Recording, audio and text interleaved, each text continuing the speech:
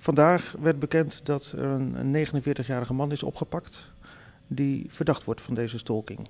Wat is uw eerste reactie daarop? Opluchting. Absolute opluchting, omdat uh, het signaal wat wij nu daaruit uh, krijgen en uit kunnen opmaken is dat er een einde gekomen is aan deze ja, stalking.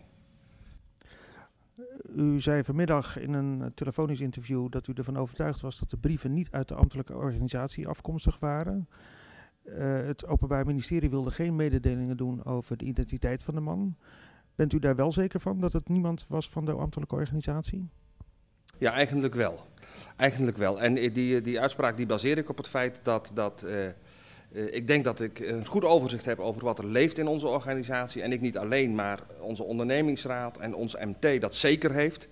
En zelfs onze ondernemingsraad nog vorige week een adhesiebetuiging heeft laten uitgaan naar onze gemeentesecretaris. Dus dat strookt op geen enkele wijze met, met het, het, het beeld als zou verdachte uit onze organisatie afkomstig zijn.